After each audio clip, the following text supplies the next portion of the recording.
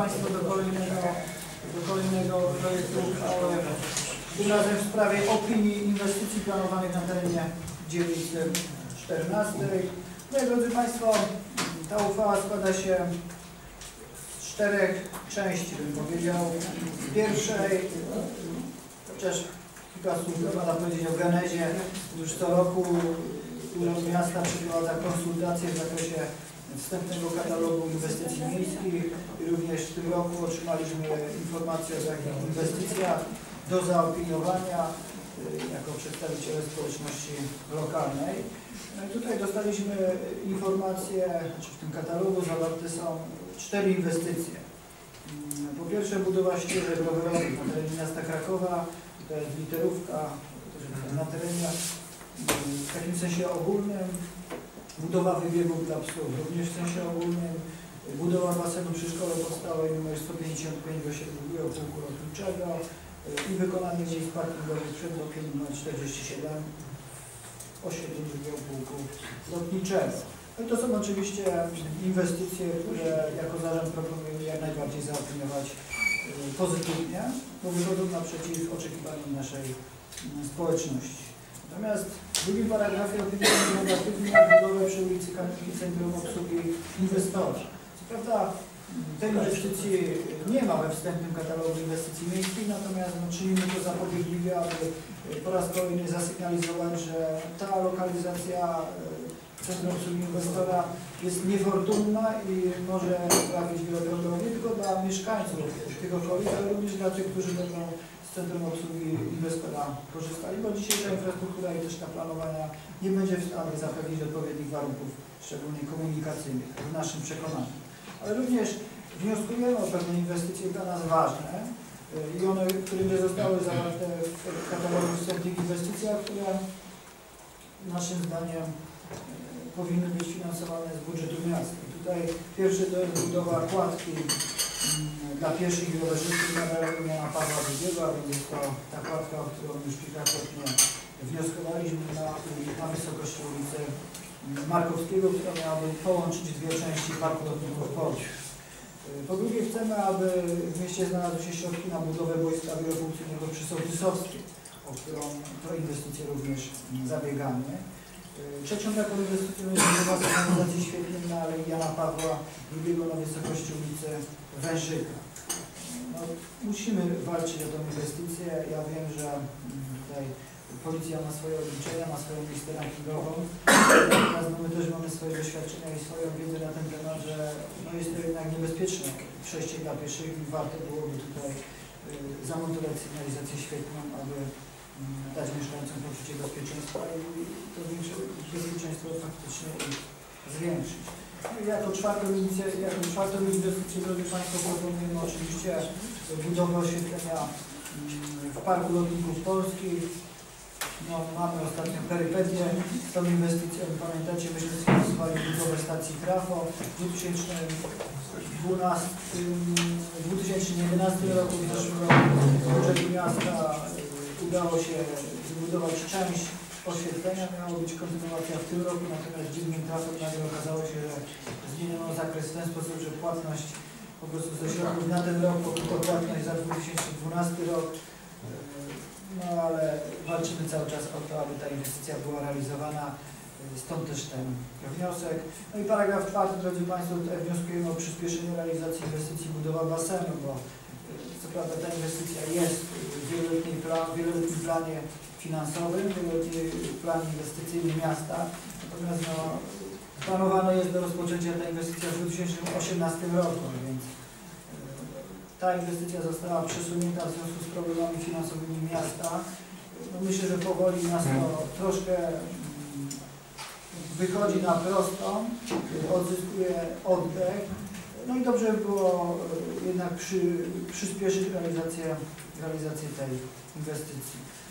Także, drodzy Państwo, taki projekt uchwały, y, te załączniki, które przypominają sygnalizację świetną, no to to jest załącznik, otrzymaliśmy mm, z Urzędu Miasta, który musimy po prostu załączyć do uchwały, no bo to jest taka procedura konsultacji i stąd też takie cztery sygnalizacje świetne macie, macie na karcie. Drodzy Państwo, y, przy komisjach, bo tutaj zawiniewać to na wszystkie komisje, ale to było 5 czerwca, więc nie wiem, które komisje zdążyły Zagospodarowanie. zaopiniować. Komisja zagospodarowania opiniowała. Tak, pozytywnie. Dziękuję bardzo Panie Przewodniczący i Komisja Ochrony Środowiska również. Komisja Edukacji też. Edukacji również. Dziękuję bardzo. Drodzy Państwo, My mieliśmy także swoją komisję. Ale rozumiem, że Pan Przewodniczący całym sercem.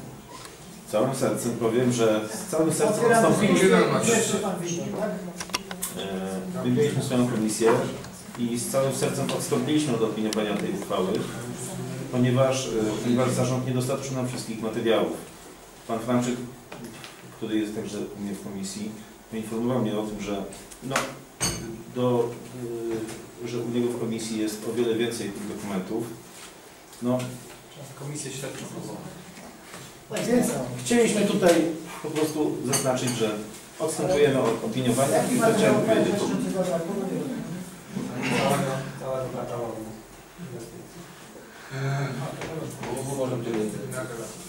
Więc, więc odstąpiliśmy od opiniowania. Rozumiem Panie Przewodniczący, natomiast taka też uwaga na przyszłość, bo faktycznie Mhm.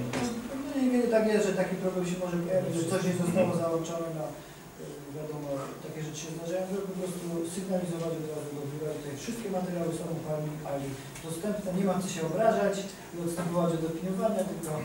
Panie Przewodniczący, tylko że my mieliśmy komisję wczoraj, Pani Ali już nie było, no to co my mogliśmy zrobić, No, tak? No. Przewodniczący. Na Rozumiem. pewno pani Ala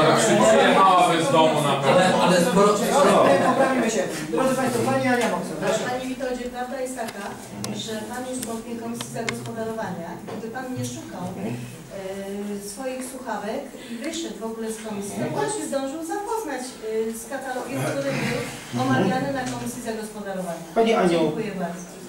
tak, Państwo, natomiast... y, Pani, Pani, to minutkę Pani Weronika do tego, dobrze? Znaczy ja chciałabym wrócić do tego dokumentu, meritum sprawy. Po pierwsze bardzo dziękuję za e, pamięć o tym, jak problematyczne jest centrum obsługi inwestora. Natomiast chciałam tutaj zwrócić taką uwagę, że w zasadzie e, ja bym zmieniła to nie przy ulicy Kamionka, przy ulicy Centralnej, bo ono jest de facto ulokowane na terenach pomiędzy, prawda, osiedlem, które jest ulokowane na ulicy Kamionka, a ulicą Centralną i administracyjnie ono będzie przy ulicy Centralnej, więc żeby nie było tutaj. Administracyjne ono nie będzie. tak. Myślę, że jak najbardziej Ono nie będzie. No mam nadzieję, że nie będzie. Y, To jeszcze jakby przy okazji mogę poinformować, że ponownie zostało uchylone pozwolenie na budowę po raz czwarty, bo w dalszym ciągu dokumentacja nie spełnia wymogów i mamy nadzieję, że nie będzie. Że nie będzie.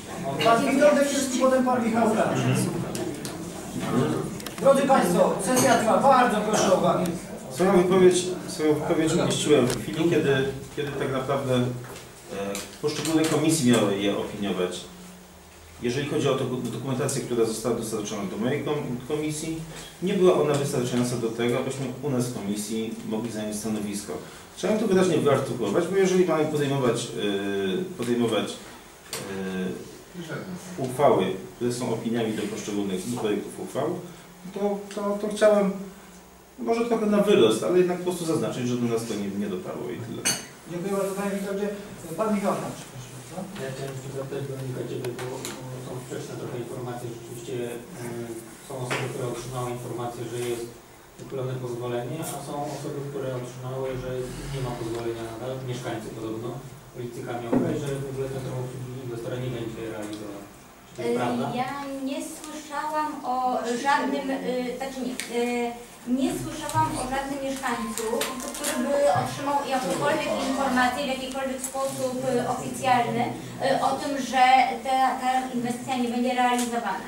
Teraz, ponieważ uchylając poprzednim razem pozwolenie na budowę, wojewoda y, zwrócił uwagę na to, że strony są y, błędnie ustalone y, i że nie są stroną wspólnoty mieszkaniowe, więc teraz Wydział Inwestycji zmienił w ogóle strony i część mieszkańców, czyli właścicieli lokali, którzy byli traktowani jako strona, teraz nie są traktowani jako strona, bo traktowane są jak całe wspólnoty, natomiast część mieszkańców się odwołuje od tej decyzji, bo to, że członkami wspólnoty oczywiście nie zmienia faktu, że mogą być jednocześnie stroną postępowania i powinni być.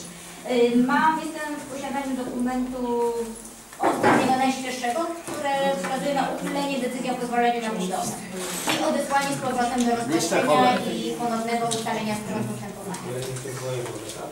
Tak, przy wojewoda. Dziękuję bardzo za wyczerpującą informację.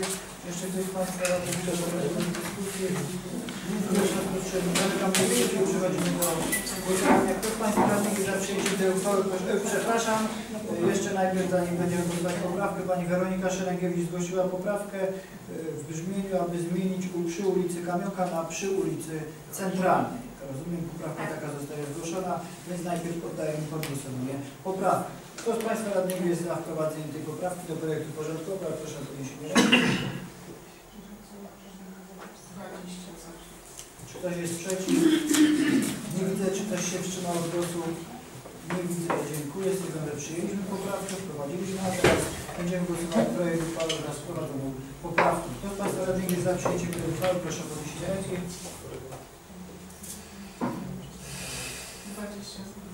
Czy ktoś jest przeciw? Nie widzę, czy ktoś się wstrzymał od głosu. Nie widzę. Dziękuję. Stwierdzam, że przyjęliśmy tą uchwałę. Drodzy Państwo,